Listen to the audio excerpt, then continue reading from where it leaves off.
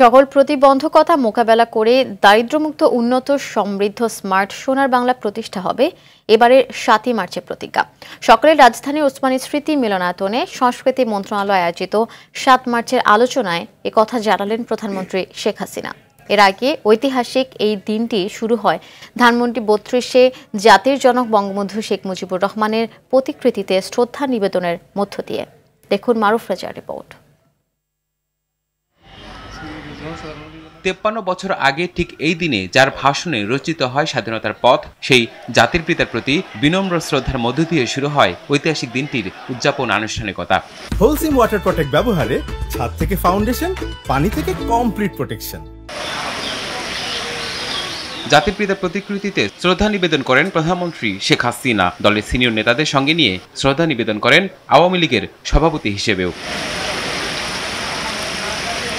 পরে ওসমানী স্মৃতি মিলনায়তনে সাত মার্চের আলোচনায় অংশ নেন বঙ্গবন্ধু কন্যা বলেন পঁচাত্তরের পরে ইতিহাস মুছে ফেলার যে ষড়যন্ত্র করেছিল দেশ বিরোধীরা দেশীয় ও আন্তর্জাতিক স্বীকৃতির মধ্যে দিয়ে সেটি আজ প্রতিষ্ঠিত ইতিহাস মুছে ফেলা যায় না সত্যকে কখনো মিথ্যা দিয়ে ঢেকে রাখা যায় না আজকে দিয়ে সেটাই প্রমাণ সেই সাতই মার্চের ভাষণ আজকে আন্তর্জাতিক প্রামাণ্য দলিলে স্থান পেয়েছে জয় বাংলা স্লোগান আজকে আমাদের জাতীয় স্লোগান এই ভাষণ শুধু আজকে বাঙালির বা আমাদের না এটা ইতিহাসে জেনে তারা ভাষণের মধ্য দিয়ে স্বাধীনতা চেতনায় মানুষকে উদ্বুদ্ধ করেছে সেই ভাষণগুলির মধ্যে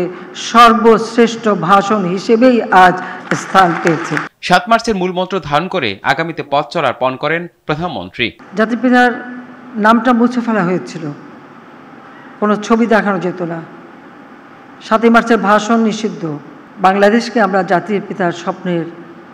ক্ষুধা দারিদ্রমুক্ত উন্নত সমৃদ্ধ স্মার্ট সোনার বাংলা হিসেবে গড়ে তুলব এই দিনে সেই প্রতিজ্ঞাই আমরা নিচ্ছি সাত মার্চের এই আলোচনার আয়োজক সংস্কৃতি বিষয়ক মন্ত্রণালয় ঐতিহাসিক সাতই মার্চ উদযাপন অনুষ্ঠানের প্রথম